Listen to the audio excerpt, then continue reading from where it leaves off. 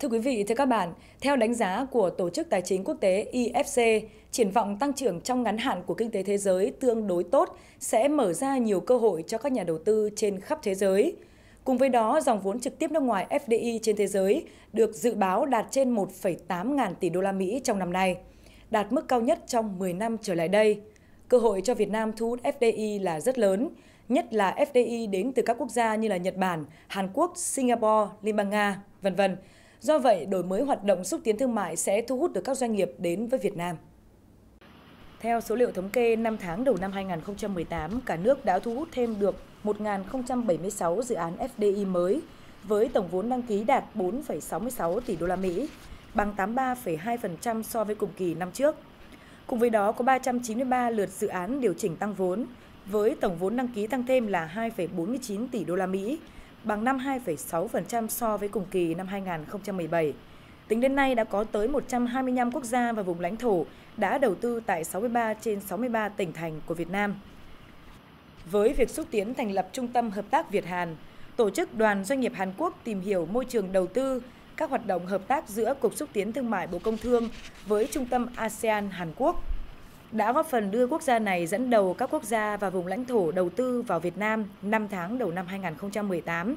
với tổng vốn đăng ký đạt 2,63 tỷ đô la Mỹ, chiếm 26,5% tổng vốn đầu tư. Thông qua Cục xúc tiến thương mại, chúng tôi có mặt tại đây để thực tế tìm hiểu thị trường Việt Nam. Thế mạnh của chúng tôi là hoạt động trong lĩnh vực đào tạo, thiết kế kiểu dáng công nghiệp, nhận diện thương hiệu, thương mại điện tử. Qua đó, khu công nghệ thông tin tập trung, vườn ươm công nghệ công nghiệp Việt Nam, Hàn Quốc sẽ là đích đến của chúng tôi trong tương lai.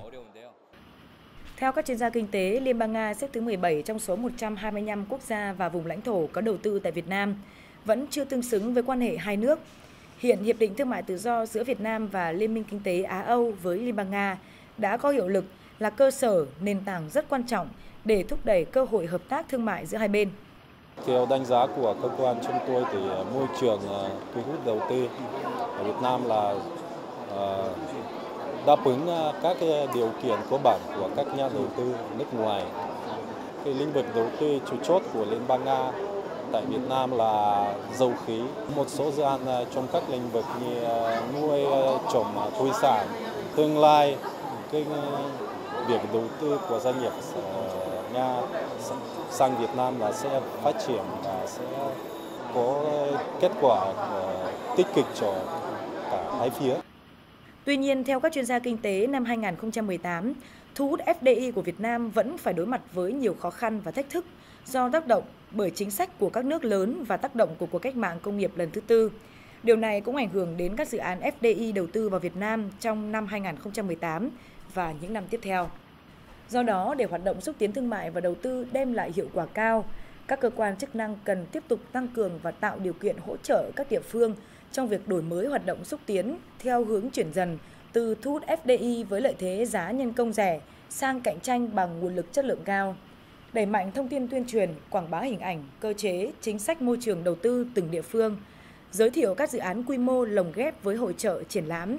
tổ chức các sự kiện kết nối, tăng cường trao đổi kinh nghiệm giữa các cơ quan xúc tiến, hỗ trợ đào tạo nguồn nhân lực, gắn đầu tư thương mại vào du lịch để giới thiệu môi trường đầu tư tại Việt Nam. Hiện nay còn cái thế mạnh của Yên Bái là về lĩnh vực là nông lâm nghiệp chế biến sâu. Đấy, thứ hai là khoáng sản chế biến sâu thì chúng tôi đang mời gọi thậm chí là một số cái dự án về du lịch là Yên Bái có tiềm năng rất là lớn. Hiện nay là cũng chưa được đầu tư nhiều và chúng tôi cũng rất muốn là các nhà đầu tư trong và ngoài nước qua đó lên tìm hiểu về Yên Bái. Trong quá trình là đầu tư tại Yên Bái có những vấn đề vướng mắc và có những cái vấn đề khó khăn thì chúng tôi là trực tiếp là đơn vị là vừa hỗ trợ luôn cho các doanh nghiệp, các nhà đầu tư để trong quá trình đó là giải quyết. Hiện nay công tác xúc tiến của các địa phương thì điểm yếu nhất là à, cái tiếp cận với cả các nhà đầu tư nước ngoài. Đấy là một cái ờ, khâu mà à, tương đối là khó khăn thì ờ, chúng tôi hỗ trợ cho các địa phương Ờ, theo ờ, hướng là phối hợp với các ờ, tổ chức quốc tế đã có cái ký kết thỏa thuận hợp tác với cả cục xúc tiến thương mại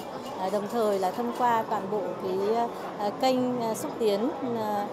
tiếp cận với các thị trường nước ngoài như là các đại sứ quán các thăm thương vụ Việt Nam tại nước ngoài được biết, Việt Nam đã xây dựng và công bố dự thảo chiến lược thu hút đầu tư trực tiếp nước ngoài FDI giai đoạn 2018-2023. Theo đó, sẽ tập trung vào các dự án lĩnh vực công nghệ cao, thân thiện với môi trường, tiêu thụ ít năng lượng, phát triển và sử dụng năng lượng sạch, năng lượng tái tạo. Vì vậy, đổi mới và đa dạng hoạt động xúc tiến thương mại sẽ tạo điều kiện thuận lợi thúc đẩy thu hút FDI theo đúng định hướng chiến lược đã đề ra.